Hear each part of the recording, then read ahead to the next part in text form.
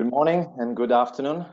I am Dario Acconci. Welcome to the webinar, Start and Grow Your Fashion Retail and F&B Business in Hong Kong and Macau, which has been organized by Invest Hong Kong, the UK DIT, uh, JAC Lawyers from Macau, and Hawksford. Over to you, Corin. Thanks very much, Dario, and uh, a very warm welcome from Hong Kong. Um, as Dario mentioned, my name's Corin Wilson, and I'm the Director of Trade and Investment for the Department for International Trade here in Hong Kong, uh, working with my colleague Arthur Yu, uh, you'll be hearing from shortly. Um, I would just like to say a, a, couple of quick quick thoughts from, from me on, on doing business here in and with Hong Kong. Um, UK government is, is very committed to doing business here. Uh, we have a strong priority on fashion, consumer, and retail. Um, and at the highest level of UK government, we're very committed to doing business with and in Hong Kong. Um, three of the key areas we're working on uh, in the near future, uh, certainly post Brexit, focusing on all things global Britain, so supporting UK companies doing business in here, uh, and not only Hong Kong, but all around the world.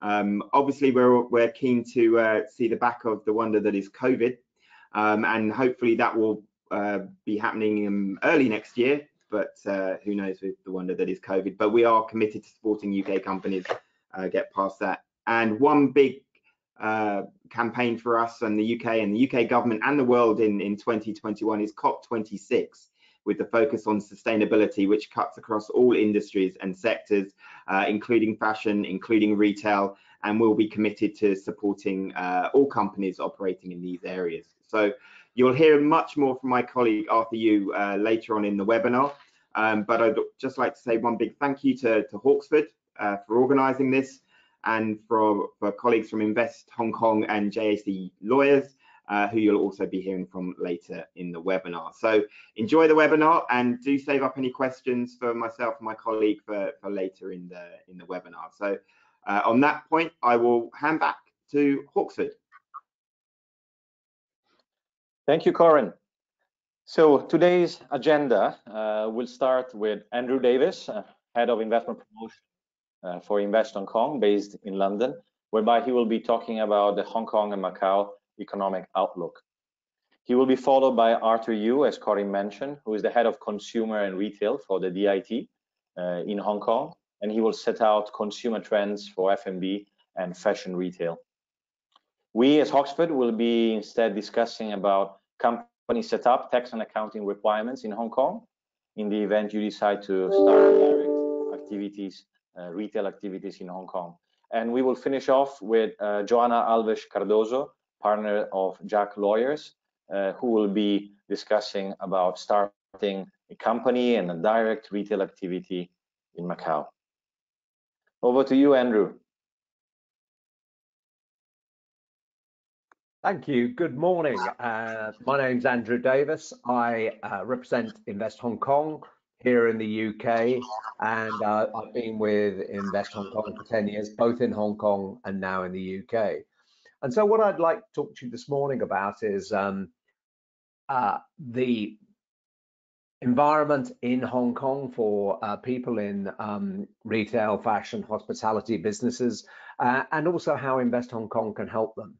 So Invest Hong Kong is part of the Hong Kong government and is there to provide a free and confidential service to companies. And we have both a consumer products team in Hong Kong, as well as a tourism and hospitality team. Uh, here in the UK, we have a team also helping UK companies make those first steps to Hong Kong. So could I have the next slide, please? I'll be very brief in this. You know, Hong Kong, one of the reasons business is set up there, you know, ignoring the fact that you've got a, a market of 7 million people and access to half the world's population within a five hour flight, it has a very competitive and simple tax system. So the first 200,000 pounds of uh, profit is only taxed at 8.25%. And it's the fact that there are very few other taxes. There's no VAT, there's no capital gains tax, there's no tax on beer or wine. So a very important point when you think about competing locations in Asia, why Hong Kong is the place to come. Next slide, please. Also, it's not just about Hong Kong. The very sophisticated connections now to the Greater Bay Area. Um, these cities, as well as Macau, in the Greater Bay Area are now really very close by road, rail, sea, and air. So it's a huge population to uh, be attracted to your business, your products, your brand. Next slide, please. And of course, Hong Kong, with its free flow of information, with all the Western uh, social media platforms like Facebook and Instagram, linking very closely into all the mainland Chinese ones, um, you know, WeChat, Weibo, etc. So it's a great crossing point for spreading the word on brand and a product. Next slide. Some examples. This is uh, one of our Japanese um, multi-brand retailers who's recently come. They've opened three stores in um, Hong Kong with an unusual 20-hour, 24-hour format. They're large and they cover a wide range of product lines from Japan. Hong Kong does love Japanese products, Japanese brands, Japanese design and culture. So they've done extremely well in coming into Hong Kong. Um, next slide, please. On the other end of the scale, more recently, we've had Fortnum and Mason established. Know, this is a very old British band, uh, grocers to the royal family, and they have opened a stunning location in K11 Musea on the Kowloon side, and this includes both retail and hospitality.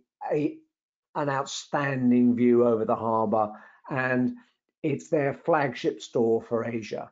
And you know, I think you know if anyone goes there, they really see how um, what is a niche brand can do really well with that very very high-end experience.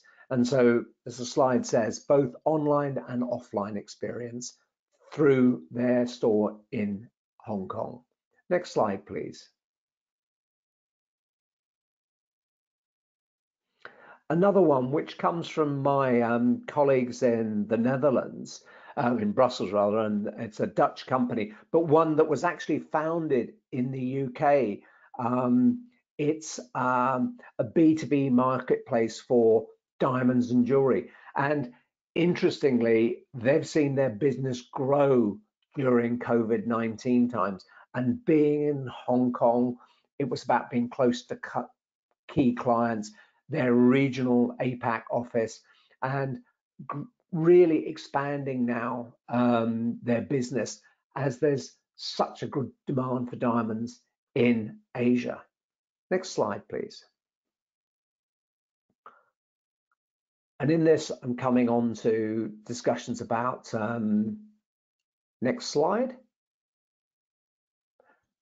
is some new trends and, well, not new trends, trends that are taking off at this particular time. Pop-up stores have become very, very popular for brands to look at entering the Asian market through Hong Kong.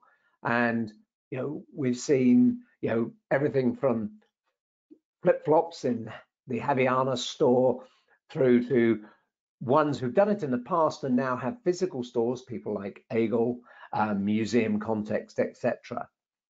Have all done this through pop-up stores, but because of the uncertainty that COVID has brought, pop-up stores have become a very popular way of entering the market. Next slide, please. Also there are trends you know uh, i think this may be something that's not limited to just hong kong but wellness staycations home spas home cooking all these sort of things. Uh, in a conversation yesterday with a british um, uh, food uh, restaurant brand in London, they are they are experimenting with basically all the raw ingredients in a box being delivered to your home from a high-end restaurant so that you can do if you don't want to go out you can do their food in your own home. And i think staycations has been a big boom in hong kong recently with hotels offering all sorts of packages whether it's dining in spas all sorts of uh, experiences to go with staying in a hotel. So these are new things that hong kong is offering. Next slide please as well, um, the need for a greener, cleaner world has meant that uh, sustainability is becoming forefront. Um, we're seeing now with one of our clients from the UK uh, who are offering uh, coffee in biodegradable um, capsules. So capsule coffee is no longer that aluminium waste that just goes into landfill. It's biodegradable. And so you're seeing this naked shopping, which doesn't mean the shopper is naked, but the food is naked. It doesn't come run, wrapped in plastic. So all of this um, is coming in as new trends and means that businesses from UK and Europe can find new opportunities in Hong Kong. Next slide, please. UK, of course, um, has done extremely well in Hong Kong.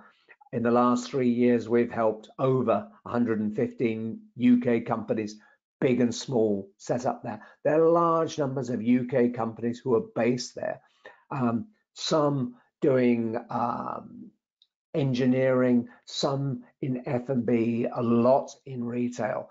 And a lot of these have connections across sectors. So the engineering company are actually supplying product that goes into the food and drink industry. So a lot of interesting um, companies coming in. And of course, it's access to the wider Asian market as well as mainland China. Of course, yeah, the, the why Hong Kong, historic links, strategic location, English language and the talent pool, all vital components to why it makes such an easy touchdown point for British companies.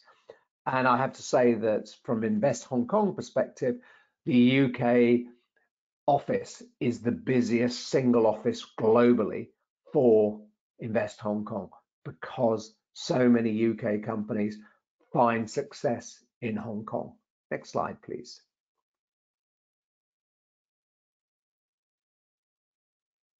So if anyone uh, wants to reach out, here are my contact details. Um, we're there on Twitter, LinkedIn, Invest Hong Kong are there on YouTube and Flickr. So we're very easily accessible. Please reach out. Myself and my colleagues, both in Hong Kong and in the UK, We'll be happy to hear from you. So thanks very much, Dario. Over to you.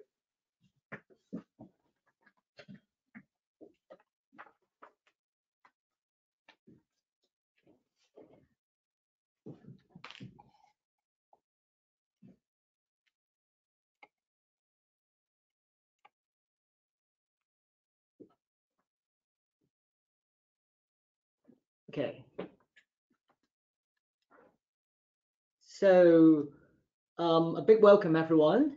Um, good morning to you for all those who are dialing in from the UK. So I'm Arthur from the UK Department for International Trade, working with Corin. I head up the uh, consumer and retail team that uh, we help UK businesses to export to Hong Kong, and the team also cover Macau market as well. Today, I'm joined by our Director of Trade and Investment, Corin, who is the best person to answer big questions, so Brexit, UK, Hong Kong trade relations, you name it. Feel free to drop any question at the chat box and we will pick up either immediately or at a later Q&A session. So um, next slide, please. So this is an introduction of the DIT team. Next slide. So uh, to begin with, I want to talk about the COVID situation in Hong Kong. So we saw a spike of outbreak in August. A number of breaking measure has put in place. And I will later show how it shapes consumer behavior temporarily and for the long run. So first of all, we saw the, the forced closure of business premises. So you see beauty parlor, gaming center, party rooms, and also 16 kind of premises was being uh, under forced closure. But now the restriction has already been greatly relaxed since the infection number has already remained at a very low level. Um, but you can imagine that business now are desperate for immediate cash flow, and I will explain how it affects um, the, the kind of uh, promotion and marketing strategy that they are now using. Um, and also the, um, the business hours has been shortened for restaurants. So it's it used to start at uh, the restaurant should start end at six o'clock and then gradually a relaxation of that law being um, they should uh, shut at 10 and now 12 o'clock and we still observe a mass gathering ban. So now we cannot have a gathering for more than four people. Of course, there are uh, exceptions, for example, for wedding, for uh, or for like um, guide guided tours. And I would like to also mention this because um, I think Hong Kong has uh, implemented, is one of the few markets that have implemented a citywide COVID testing. So around 1.7 million population has joined that program. Um, it has identified around 30 infections, and the purpose is to detect hidden spreader and to create a citywide COVID-free bubble. So suffice to say that um, we are we have um, up our game and being very um, taking all the precaution in prevention of another outbreak. So on that, whether will there be another um, uh, wave of COVID outbreak, I think uh, at least we, we, are suffice to say that we are well well prepared for it and have all the measure in place to control it at the lowest level. And um, also to mention, border remain shut, so um, cross-border tourism remain very quiet. And um, and as you can see, we are all working from office instead of home. So um, actually, uh, we all resume normal working patterns starting from mid-September. So this is how the, the market has been looking like, uh, how the consumer behavior that are gradually moving from home to streets.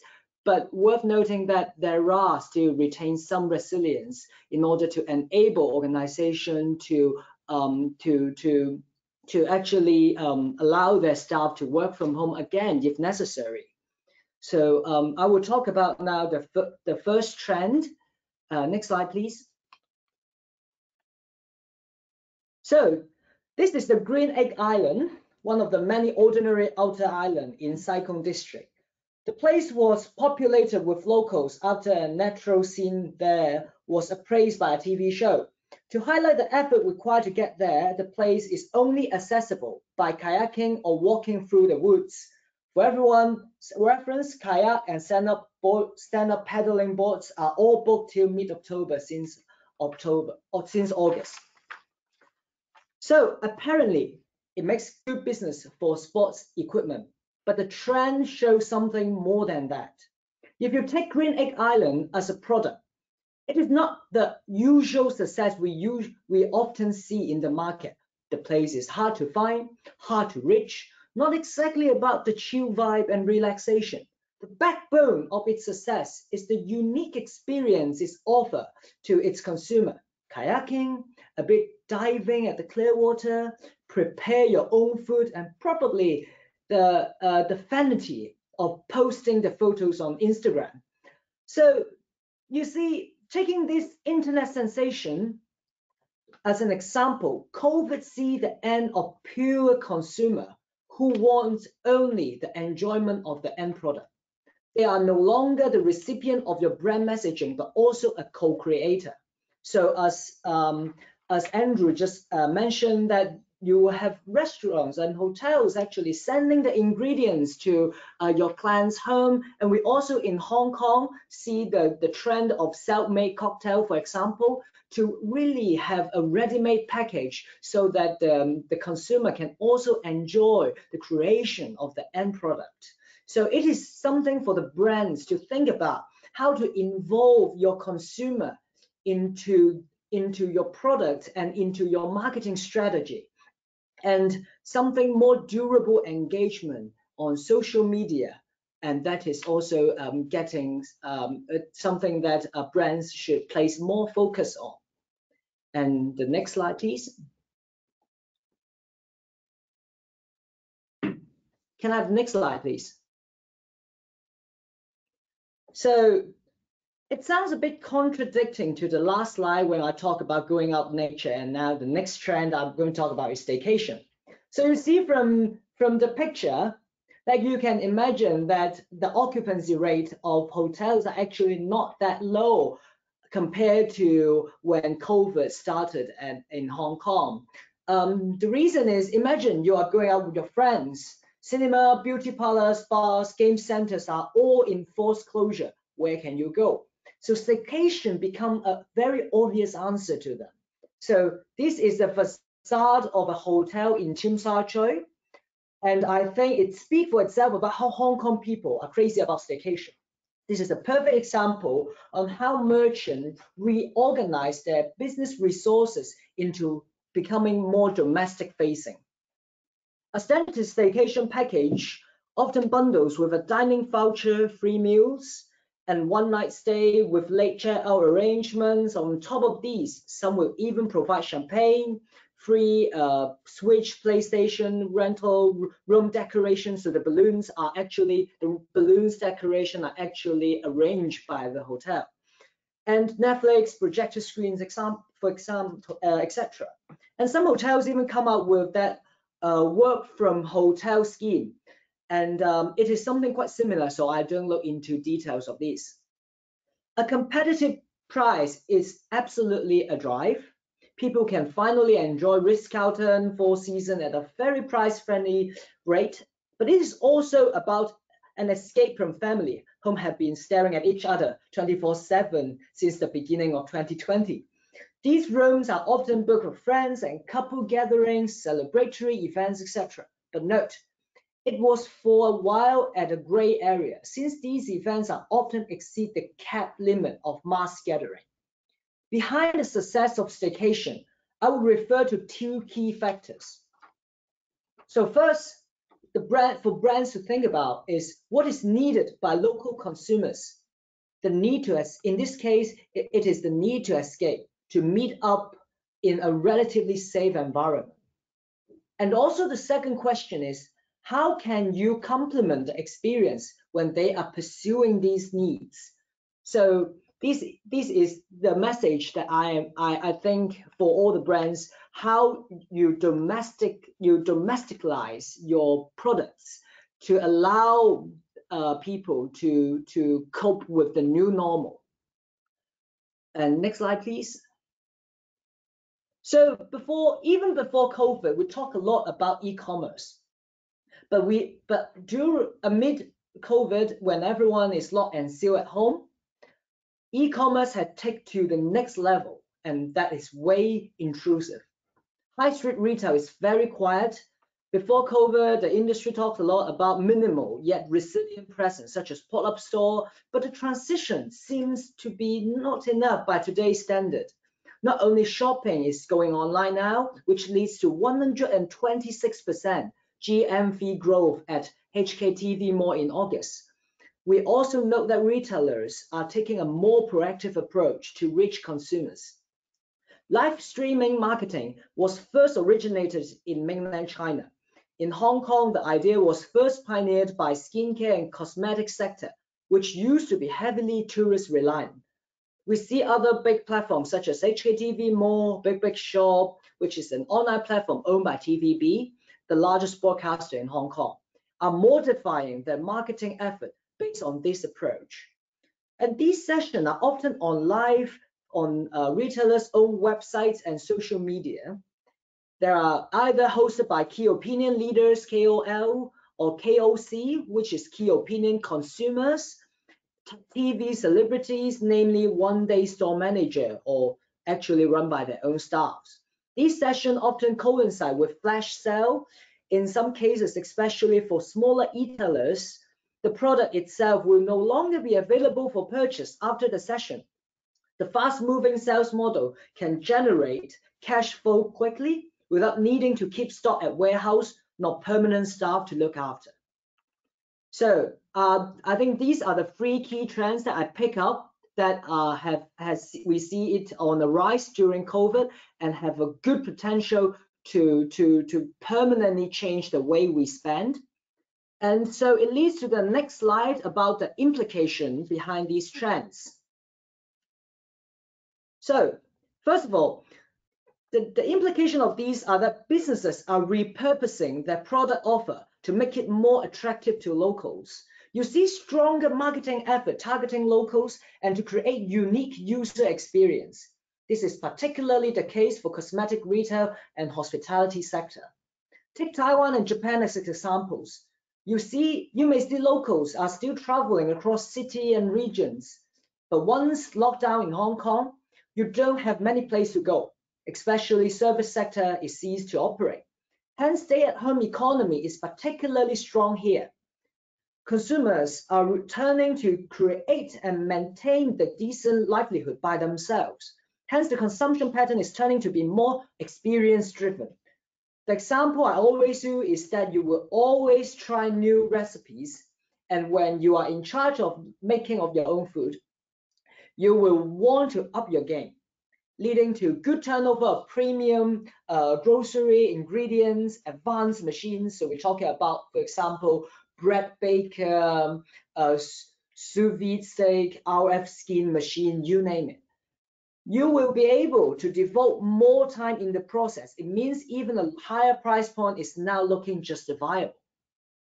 And now I'm going to talk about like how the future will be looking like in like in the short run. So in a couple months time, the word that we always use is revenge buying. Now I trust everyone can read Chinese. This is a newspaper clipping about immediate sales and the footfall rebounds following the relaxation of mass gathering restriction. So premium shopping mall like K11 Musea, where uh, um, Fortnum and Mason uh, is located at, has estimated that Q3's overall sale will grow 60% from Q1 another shopping mall D2 Place, which targets on mid-income customers, has distributed a thousand cinema tickets as spending reward. It seems hyper mood for spending is almost inevitable when COVID is over. So the million question before us would be, are the trends we observe just a temporal solution to our current predicament, or it will be somehow reshape the market landscape? With people going back to street and office, usual entertainment option resumed, I say to some degree, the trends we discuss will face a backlash. But generally speaking, the pandemic has already facilitated change that are deemed to come anyway. Expeditious delivery enabled by a better IoT system and online to offline stores network, a more informed customers, including tourists, who values user experience and a more localized instead of generic and universal offer to consumers. So in conclusion, I know I may not be able to touch on your sector, but I know my present, but I hope my presentation will at least give you an overall idea of the consumer behavior and which direction it is leading to. I'm more than happy to have a chat with you individually, of course, and I trust um, our contacts will be shared after the session. Thank you.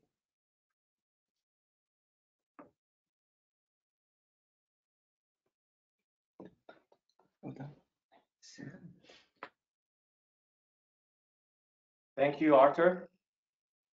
Um, we will be now discussing, uh, let's say, should you be interested in setting up e-commerce or direct retail or wholesale activities in Hong Kong, we'll be discussing about setting up a company, tax and accounting requirements, as well as the strategic role that we view for Hong Kong within the specific industry of retail and F&B. I will be presenting alongside with my colleague Francesco Motonati, who is Associate Director of, of Hawksford. Uh, who, who we are, we are an international corporate services provider. We are headquartered in the UK, in London, and in Jersey and uh, we have five offices in China. Hong Kong is our largest office in Asia, and then we have an office in Singapore. In terms of sectors, we do assist uh, companies from all sectors, but we have developed specialty practices in tech and innovation, manufacturing, and trading, consumer retail, luxury, and fashion. We do assist from startups up to multinational and FTSE listed companies. The services we offer range from incorporation of new entities, bank account openings, tax and accounting, immigration, and payroll. Next slide. Thank you. So I, I started my career, I'm Dario Conci, I started my career in Hong Kong in 2003, working for an international law firm. And I developed a practice in assisting fashion brands from all over Europe, UK, Italy, and France in establishing their operations in Hong Kong uh, and uh, developing retail uh, uh presence in China, joint ventures, distribution agreements, and so on and so forth. Francesco Montonati, as I mentioned, is an associate director. He started in 2013, and he did hold uh, the hand of several brands in the implementation of their on-the-ground activities in Hong Kong, Macau, and China. As I mentioned before, I think that when we discuss about uh, accessing for the industry of retail and F&B, the market of the markets of Asia, Hong Kong, and China, it is useful uh, probably to set the stage by describing a little bit of history. History is definitely always useful to understand the future. And to understand the opportunities that you have in uh, Hong Kong, China, and Macau, uh, I think that we should spend two words about the evolution of retail uh, in Asia by foreign brands. Next slide, thank So the evolution of retail in China and Asia started, I would say, in the early 2000s uh, with the modality of franchising. So when I did arrive in Hong Kong, the majority of brands were here operating not directly, but through partners. So they found it easier uh, to, to venture into these markets and sell uh, through the expertise of third parties franchising companies. These companies took the risk, they opened shops in Hong Kong, Macau, and China, and developed the brand uh, uh throughout uh, the early early 2000s. What happened is that during the course of 2005 to up to 2008, the brands realized that the market in China was actually booming, and the profit margins made by the distributors and the franchisees were also interesting. So on one side, they wanted to take back control, learn about the, the markets of Asia, and uh, and consolidate or start consolidating part of the results. So the trend shifted uh, to joint ventures. So in early, as I said, early 2005 to 2008, there was a flurry of projects of brands that did not want to franchise out 100% activities, but wanted to enter into joint ventures with the distributors. So companies were created in Hong Kong in joint venture with Hong Kong distributors and players to then have direct activities in Hong Kong and China. By year 2010, roughly, the market was so big and all brands realized that the future of their business on a worldwide scale was definitely Asia. And China and Hong Kong being the elephant in the room, being so dramatically important, brands started to want uh, to take back full control of their operations. So in those years, buybacks of joint venture shares or opening of direct operations was uh, was definitely the, the trend and the strategy of the majority of brands. But China is a huge market, and therefore what happened is that for brands that now still have to enter into into the Chinese and Hong Kong markets, they realized that direct was the way, but finding the correct expertise and setting up uh, the human resources with the right know-how to develop efficiently and to bring into profit quickly their activities was very difficult. And therefore, nowadays, direct operation, it is the trend, but through the assistance of the know-how and management service of those that were the franchisees and the distributors in early 2000. So all these companies like the Fairton, the ImagineX, uh, Luxbar from the New World Group, um, and, and, and so on and so forth, that were capable distributors in the past are now offering their services as managers of the direct activities of brands. The names I've just mentioned of reputable distributors and franchisees are actually all names of operators in China that are Hong Kong managed or Hong Kong owned.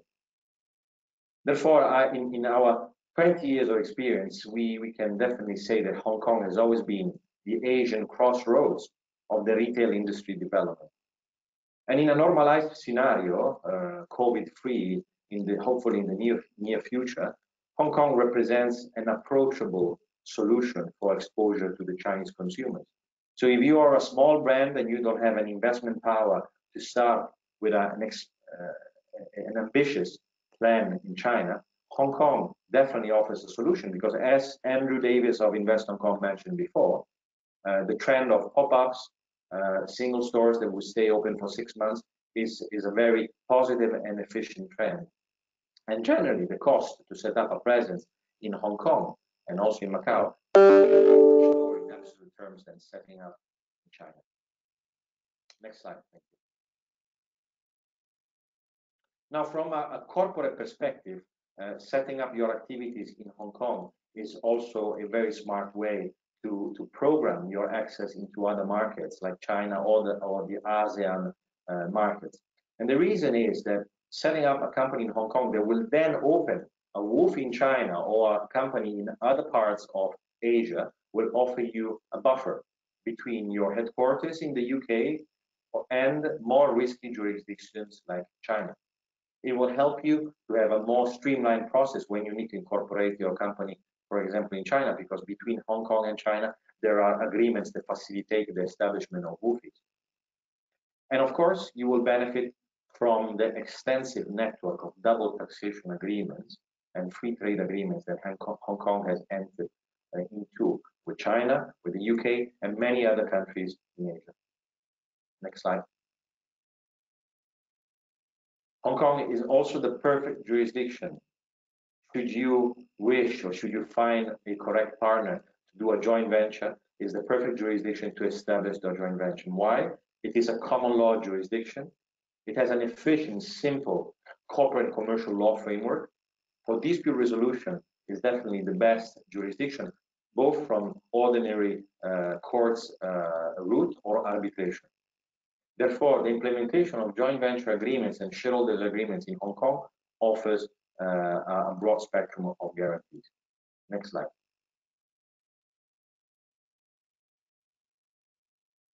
I would uh, pass uh, to to the following slides. Uh, Andrew Davis already mentioned Hong Kong will be the center of the Greater Bay Area, which is the biggest uh, initiative, policy initiative from the Chinese government that will put together 11 cities from the Pearl River Delta, uh, highlighting and putting to the service of the project all their specific competitive advantages. So Hong Kong from the financial point of view, uh, retail and luxury, Shenzhen uh, together with Hong Kong on the tech and Guangzhou from the industrial from the industrial perspective. Just to give you an example. Next slide. Next slide. I will pass now the, the, the, mic to Francesco, who will get into the details of setting up in, in Hong Kong, taxation, and the initiative, the BUD funding initiative. Francesco, over to you. Thank you, Dario. Uh, thank you, everybody. Uh, so let's say you, you have in mind to, to expand your business in Hong Kong uh, very well. Uh, what are the what what options do you have in terms of structures uh, for setup? Uh, next slide. when you want to set foot in Hong Kong, you basically have three main options available. Open a representative office, register a branch, or set up a limited liability company. Um, I will start from the simplest, which is the rep office. Uh, now, rep office is quite limited in what it can actually uh, formally do, since it, since it, can't carry out any revenue generating activities, but is um, only allowed to perform liaising and similar, let's say, quite soft uh, market activities. Uh, from a practical point of view, I would also like to add that it would make it a bit a bit more complicated for you to open like a bank account or sign contract with local counterparts uh, because of its nature. Uh, by our experience, this is not the uh, say the main the main option uh, on the table for you. Um, for what regards the branch, uh, this can actually carry out uh, business and revenue generating activities but it would take longer to register with local authorities since we are basically registering the foreign companies in Hong Kong. And most importantly, um, it, it, does not enjoy uh, limited liability as it is not uh, a separate legal entity from the mother company or head office. So it, let's say just falls short of a great advantage, which on the other side, the limited company uh, offers you. And the vast majority will opt for setting up a private limited company uh, through which you will be able to carry out any type of activity and enjoy a limited liability. This is by far the, the, the best option available under several aspects. Uh, so uh, I would now like to focus a little bit more on, on the requirements for setup of the private liability company. Um, next slide, please. Um, here you can see what are the main features and requirements of a Hong Kong private limited company. All you need to have is a name. Uh, you don't need to define a business scope. Uh, what do I mean by that? Uh, with the same limited company, uh, you one day you will be able to provide uh, design marketing service, and the day after you will be able to trade uh, iPhones. there is no mm, constraint in that sense. Uh, the share capital, there is no minimum requirement here as well. You can set up a company with one Hong Kong dollar. Uh, now the common practice is to set at 10,000, but that's just a common practice again. It's not, not a mandatory rule.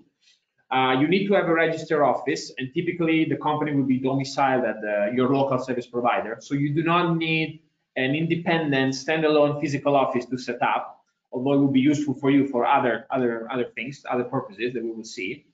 Uh, both shareholders and directors of the limited liability company uh, can be based overseas, so they do not need to be resident in Hong Kong. This offers great flexibility, especially now that you know the traveling is so far to be restricted or uh, that, that complicated. Uh, there, there are then some statutory roles that must be covered when setting up a company, and this will be typically offered by uh, professionals like us, local service providers. That will be the company secretary and the designated representative, as well as the uh, tax representative. Um, next slide. Um, so on top, uh, Andrew and I have both talked a little bit already about the tax and accounting environment uh, in Hong Kong. And let me just stress, underline one, one, one time more that how clear and very much business friendly it is. Uh, here's a summary of the tax framework.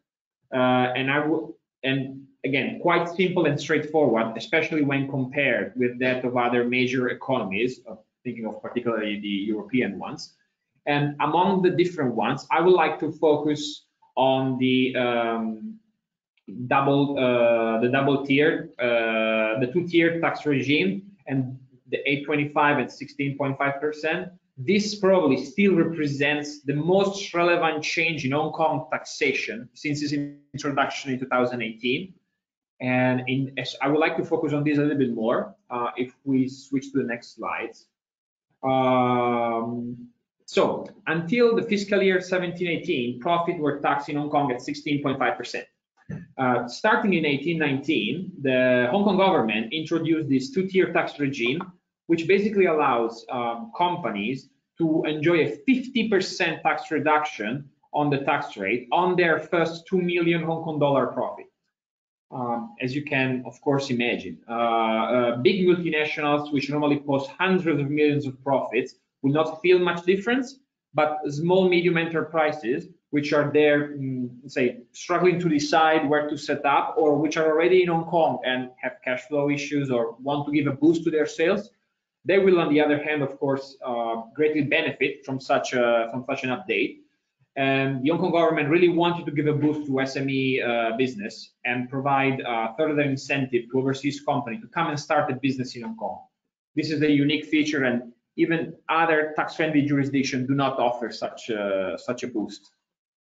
Uh, next slide, all right. Uh, just to give you a swift idea of the benefit of this two-tier tax regime, here's a quick comparison on two different tiers of assessment before and after the introduction of the two-tier tax regime. Um, as you can see, on a profit of, let's say, 3 million Hong Kong dollar, an SME would have paid 465,000 Whereas now, thanks to the 8.25 uh, rate, uh, we can end up paying only 310,000, and that's a net saving of 155,000 Hong Kong dollars. So really, really a boost ahead to small, medium enterprises already established in Hong Kong or looking to establish uh, here. Uh, next slide. Uh, Hong Kong, uh, so as you can understand, Hong Kong is great for so many reasons, and not only because uh, it has a clear legal environment and a competitive tax regime, there are many other ways in which the local Hong Kong government actually actively um, provides support to companies wishing to establish here and then further expand into the close by market. So think of mainland China as well as other Asian countries. And one of the tools offered by the Hong Kong government is the BUD fund scheme. Uh, next slide. Now, what is the BUD fund scheme? Uh, BUD stands for Branding, Upgrading Operations, and Domestic Sales. Uh, the program was um, firstly launched in 2012 to push Hong Kong as the springboard for companies wishing to jump into other Asian markets. At the beginning, primarily mainland China, uh, letting them enjoy substantial financial support um, for all those costs related to such expansion into these new markets let's say you want to develop the brand, you want to launch a marketing campaign, you want to give a push to your sales in the new market, uh, and so forth. Um, through this funding scheme, you can obtain 50% reimbursement for all those expenses that respect the guidelines, uh, up to a maximum of 4 million reimbursement. So if you have a if you have projects that will cost more or less around 8 million Hong Kong dollars, you can be getting up to 50% reimbursement, so 4 million Hong Kong dollar reimbursement. Uh, who can apply? Uh, all non-listed local companies can apply, provided that they have substantial business operation in Hong Kong. Uh, what does that mean? basically, you need to have real business in Hong Kong to qualify. Let's say you need to have an off a real office in place, a shop, local workforce hired, and so forth. Uh, so you don't need to have operations in Hong Kong for multiple years. It's enough that you come, you, you tap into the Hong Kong market, you start your business here, and after a while, you're already thinking of expanding into uh, Macau, China, Singapore, the Asian countries. This program will, will be suited for you. Uh, you can apply all year long. There are no deadlines. So this is not a COVID-19 related relief measures. Now, of course, it gained so much more relevance because of COVID, but this program has been there uh, since many years, and it's open all year long, so it will not be cut at the end of the pandemic.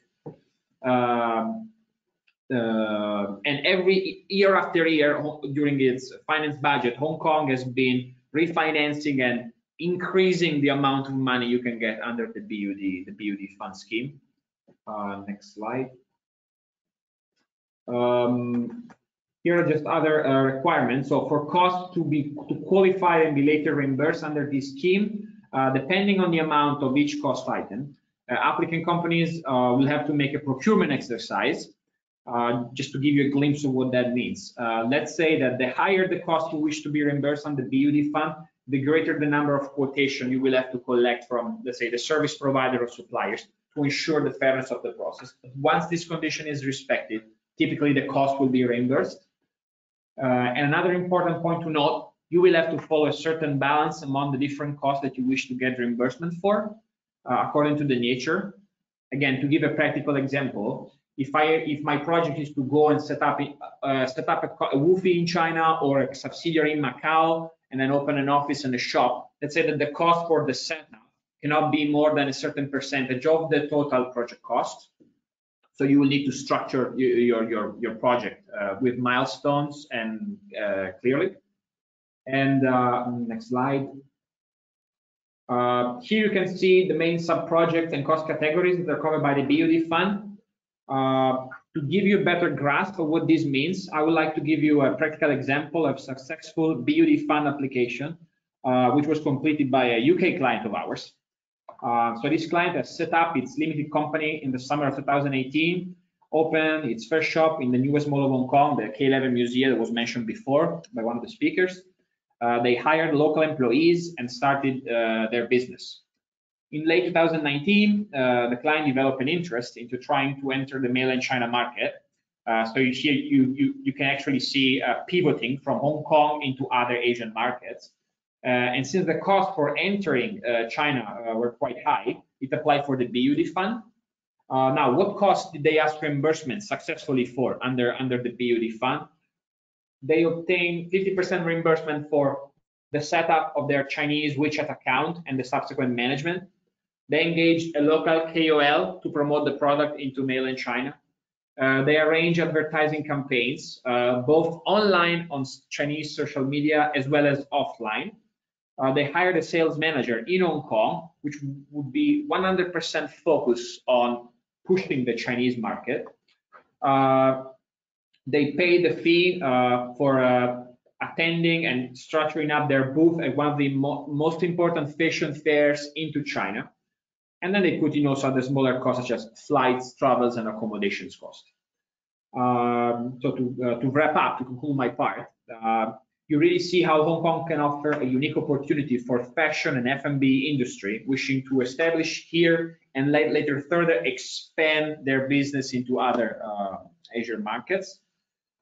And to, to link up with our next speaker, Joanna, uh, together with Hong Kong, another key market for fashion retail and F&B is definitely Macau. And any project focused on fashion and F&B should not consider Hong Kong, but Macau as well as part of a, a single overall strategy. And I now give the floor to Joanna to tell us more about Macau. Uh, thank you very much. Hello, everyone. Um, and uh, a special thanks to Hawksford for putting up such a great webinar. And I would like to personally thank Dario, my good friend, for being able to organize all this. So as um, Francesco was uh, rightly saying, a typically a fashion and retail business uh, operating either in the US or the Europe and who are looking into expanding its business in in China should uh, obviously consider Hong Kong, uh, which is still the gem of the Greater Bay Area, but also Macau. To give you a glance and overview on the Macau prospects, it has been uh, the COVID-19 free place for the last four months.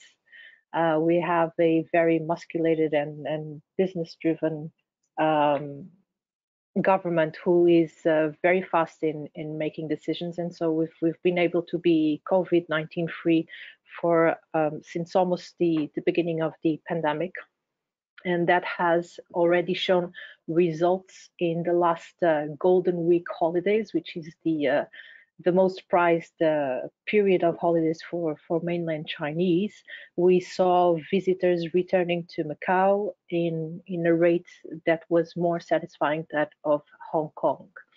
It is the world's uh, largest gaming center by excellence, so fashion and retail who play at the uh, luxury tier are uh, always with their eyes uh, in Macau not only because of the um, window opportunity that it's it's given to mainland Chinese tourists, but also because of the very stimulant uh, low tax rate system and the easy tax filing system that that we have in Macau.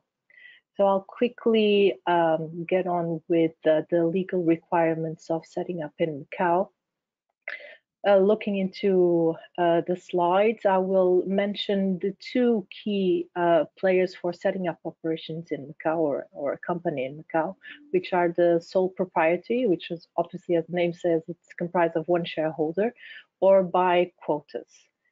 Um, none uh, of these uh, these uh, types of companies require the shareholder to be a, a local or a Chinese national, so it's it's an absolutely uh, no restriction environment in Macau as well.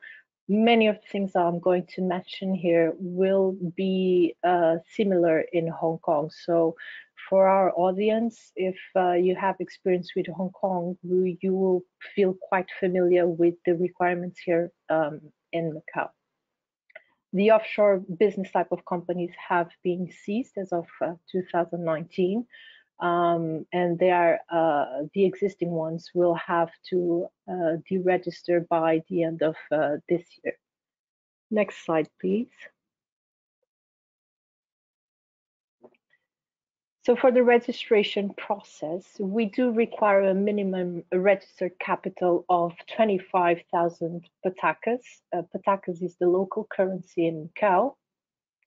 And uh, for those who are less familiar, the Hong Kong dollar and the, the pataka are more more or less par in par on, on, on a one-to-one currency exchange.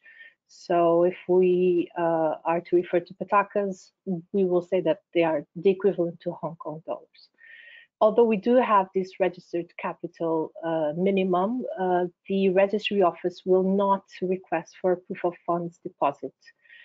So it's it's it's until now a virtual 25,000 uh, requirement. You will have to appoint one director at least or more if you want to function as a board of directors. Again, there are no restrictions to the appointment of directors. They can be either local or non-locals. Um, a remark here as uh, directors who are strictly foreigners without a working visa in Macau although they will be allowed entry in Macau as per their tourist visa uh, requirements, um, they will not be allowed to work in Macau as per se. So mm, we have to be a bit careful with how um, close the director will will wish to to work in Macau, as to consider eventually a working visa for a foreign director. The appointment of a company secretary uh, is not a mandatory requirement, um, but it is advisable due to compliance issues of bookkeeping, uh, minutes resolutions, and authority to sign uh, for and on behalf of the company in, in physical acts. Next slide, please. to set up a company, you will have to get a pre-approved company name check certificate.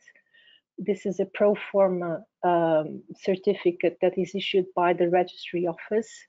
Uh, the company name may bear an English name as long as a Chinese and a Portuguese name are also registered the articles of association they can be very general as our system is, is, a, is a civil law system. And so most of uh, the default rules are already codified in the commercial code. Uh, but again it's always good practice to replicate uh, at least the essential rules and add on some depending on how the client wishes to govern the company. They will have to be drafted in at least Portuguese or Chinese. We here at the office normally do it bilingual for the convenience of the client. I think it's always good to have uh, in hand a document that you fully understand, and this is possible to do so in Macau. Typically, a registration process will be done in approximately 10 to 15 business days, depending on the workload of the registry office and with the completion, a business registration certificate is issued. Next slide, please. Um, in setting up operations in Macau, what can we expect? Basically, what will be the hurdles that you may encounter? Finding an office. Um, as you may know, Macau is not as big as Hong Kong, and so we do lack in office spaces, and this comes uh, with obviously a volatile uh, rental uh, rental environment. Costs are quite high in that department, not as high as in Hong Kong, but we are getting there. Um, so many of our clients, at least on the first phase, will wish to have their registered address with the service provider, so basically a virtual office scheme and then move on to a physical when they are um, more muscled up in terms of, uh, of funds. A physical office uh, will help in the process of opening up a bank account. The bank accounts, uh, bank accounts uh, available in Macau are actually multi-currency, so you can either choose to have a Pataka or a Hong Kong dollar account, as well as a euro, a US dollar, Japanese yen, and RMB. Uh, we have a robust, a robust uh, financial uh, environment, and most of our banks here have international uh, representation. Compliance is obviously getting stricter. It's uh, it's been a worldwide experience. Um, from what the, the feedback I've I've been getting from clients is still less strict than uh, Hong Kong. Um, although obviously normal inquiries on the prospect of operations and how the business will be run uh, will be expected and the client needs to be prepared to answer these questions for compliance issues. The most challenging part perhaps will be local manpower and hiring foreign manpower. Um, we have uh, satisfactorily a very low unemployment rate.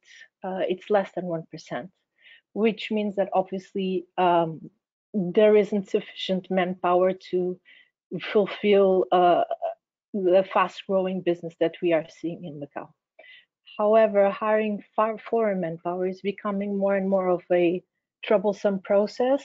Just very recently, uh, as of uh, 5th of October, it's been put in place a, a another regulation that requires uh, hiring foreign nationals to be mandatorily done through a unemployment agency. And that obviously means fees for the employer, also for the employee, and a, a an unexpected, uh, eventually uh, an unexpected surprise in terms of the employee who is being recruited from abroad uh, upon entry.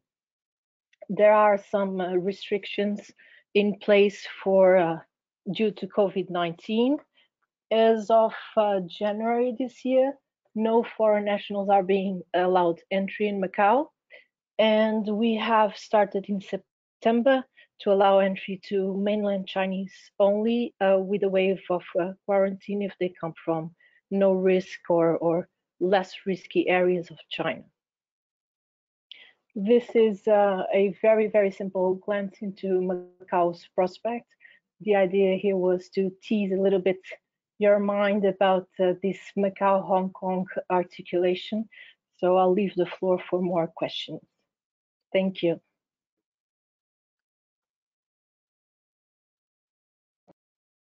Um, thanks to all the speakers. Uh, we did receive a couple of questions uh, from our audience.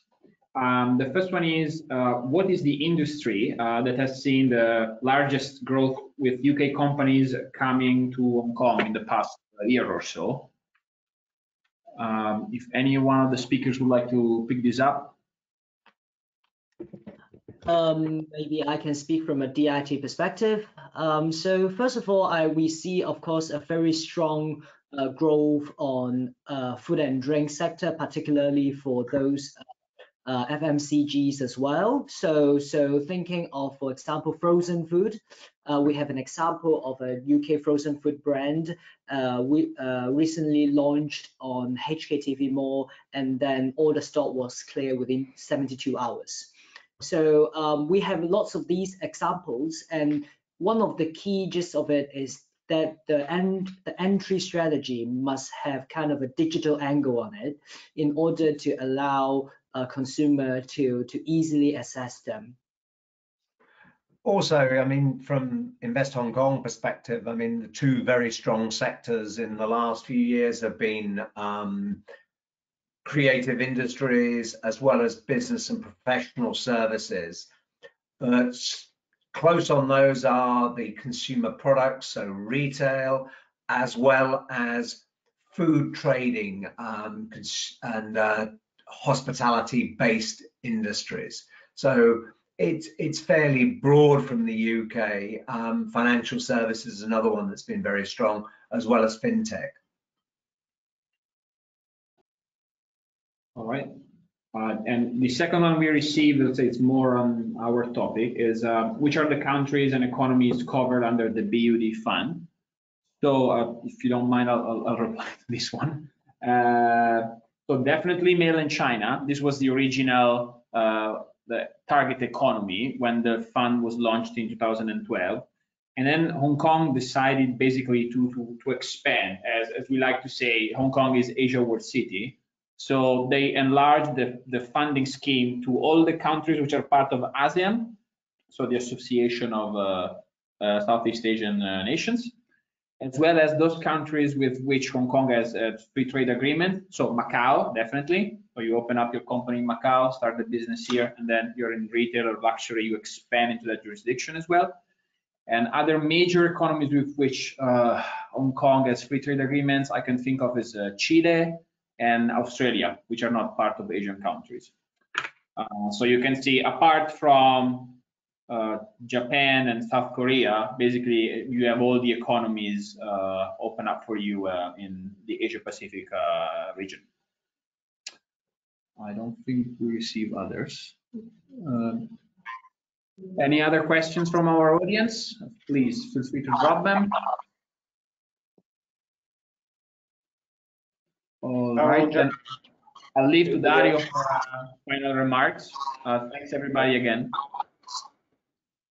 Thank you. I would just add that uh, given that we have uh, we have been and we are very close to, to many F&B and fashion luxury brands, just to give you an idea of the relevance of Hong Kong and Macau pre-crisis, brands such as uh, Dolce & Gabbana or Versace uh, had their highest revenue making all over the world in Macau and in Hong Kong in Canton Road.